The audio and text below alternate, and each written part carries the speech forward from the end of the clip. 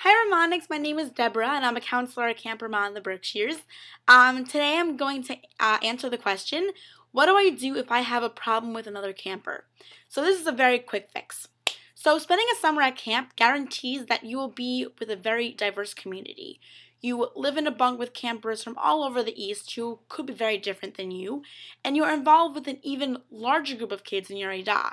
So there are many ways that we can try to keep every relationship in camp respectful and healthy. So here are some different ways um, to how to deal with a problem that may come up with a friend. First thing, talk, don't hit. When you get really angry at someone, never hit them.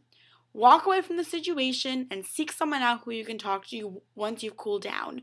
Find a friend, find a counselor, your Rosh Edah, or another staff member with whom you feel comfortable and just discuss the problem and all will be good. Two, if you can't say something nice, then just don't say it at all. What you say can be hurtful to people, so choose your words carefully. Think before you make a rude comment to another camper about their appearance, or maybe just about a rumor that you've heard. And with these two quick tips, you will have the best summer ever. Bye!